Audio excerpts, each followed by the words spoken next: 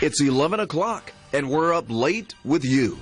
At one time, he was the most powerful man in baseball, overseeing the game during the strikes, steroids, and groundbreaking changes. He was also in charge when the Atlanta Braves won their World Series title. Former commissioner of Major League Baseball, Bud Selig joined our Jeff Hullinger and Dunwoody tonight for a discussion about his brand new book, For the Good of the Game. Before becoming commissioner, Selig actually owned the Milwaukee Brewers, who in 1974 got Hank Aaron in a trade with the Braves. I wish everybody could have seen him play in the 50s before he started to pull the ball. He hit balls to right and right center. I've never seen a hitter do any hitter do that. By the way, Selig was inducted into the Hall of Fame in 2017, the same year as Braves Vice Chairman John Schuerholz. We're going to be right back right after this break.